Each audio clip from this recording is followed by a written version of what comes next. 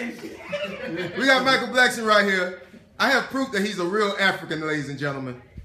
Look at his feet. Oh shit. Look at this shit. It's props. This is not props. This is all real life. His family disowned him if he put lotion on these feet.